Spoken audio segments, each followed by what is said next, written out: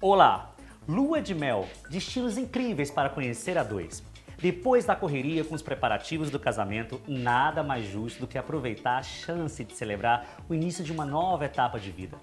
A lua de mel vem exatamente para consagrar esse momento onde os casais podem curtir os primeiros instantes a dois.